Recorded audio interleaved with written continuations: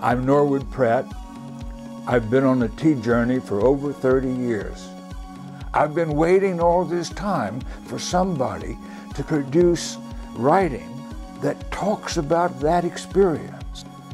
Dan Bolton, the editor of Tea Journey, may be the best journalist in the field, and I am proud that he would ask me to introduce his brand new and best yet magazine, Tea Journey. Oh, Hello, I'm Dan Bolton, founding editor of Tea Journey, a collaborative effort of tea journalists and experts in the West and their counterparts in the tea lands.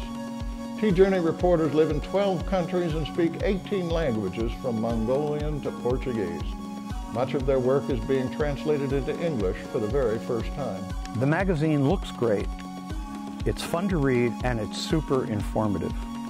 Even for a well-seasoned tea pro like me, living in the tea lands, Tea Journey provides an amazing source of ideas and inspiration available nowhere else.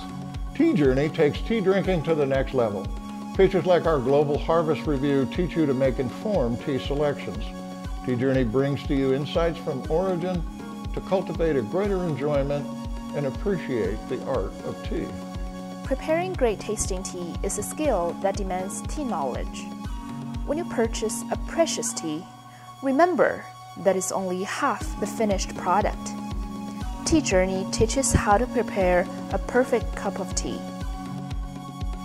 Think of us as a digital caravan of storytellers traveling to the tea lands to share authentic and elusive knowledge. We believe that tea is more than a beverage.